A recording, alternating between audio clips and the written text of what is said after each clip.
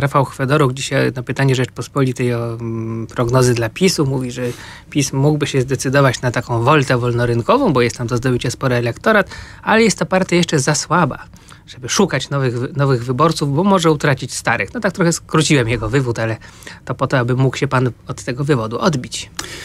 My podchodzimy do kwestii ekonomiczno-społecznych bardzo pragmatycznie. Nie ma, nie ma w naszym programie żadnej dominującej ideologii. E, często nam się zarzuca, że jesteśmy albo zbyt socjalni, albo wręcz socjalistyczni. To nieprawda. E, proszę zwrócić uwagę, jaka była pragmatyka naszych rządów w, latach 2005-2007.